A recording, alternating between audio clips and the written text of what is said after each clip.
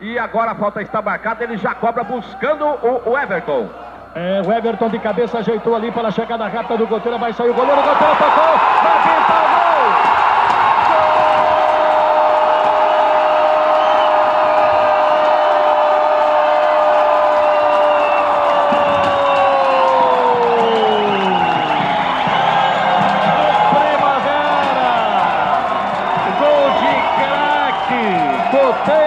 número 23.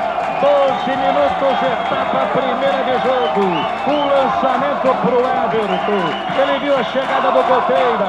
O Goteira, o goleiro saiu. O Goteira inteligentemente levanta a bola e por cobertura.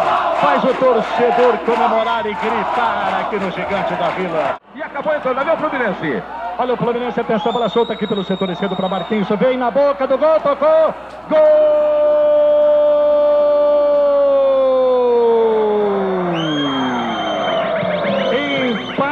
Jogo Wendel número 8. Exatamente 13 minutos, um após o gol do Goteira. Mais um primeiro tempo de jogo, Copa São Paulo, você confere na jornal. Wendel, mãos na cintura já autorizado, atenção, levantou, vai pintar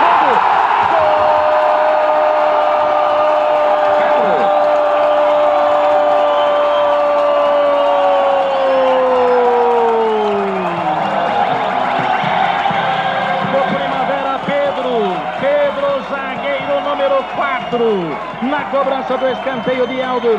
Pedro subiu, acreditou, meteu a cabeça nela, foi pro fundo do gol de Jamerson, que olhou, ela estava lá. Pedro, Pedro, zagueiro número 4. 20 minutos, etapa primeira de jogo no Gigante da Vila, Copa São Paulo. Seus 39 minutos, foi em cima do jogador Welder. O jogador Mascarenhas levou amarelo, pênalti para a Primavera, goteira para a bola, correu, bateu.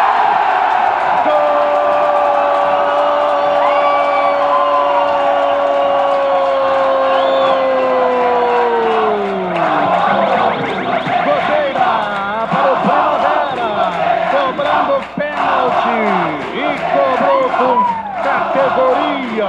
Generson olhou, a bola estava no fundo do gol. O pênalti acontece aos 39 minutos. Goteira, Goteira número 23 para a alegria do torcedor que comemora e faz festa. Goteira, artilheiro do time.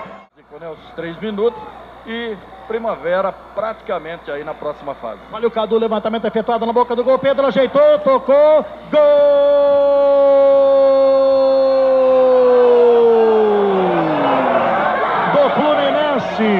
Boa jogada totalmente pela esquerda, bola levantada pela direita. O Pedro dominou, penetrou na grande área, chutou. João Sirio colheu, a bola foi no canto esquerdo baixo. Pedro, Pedro, número 9.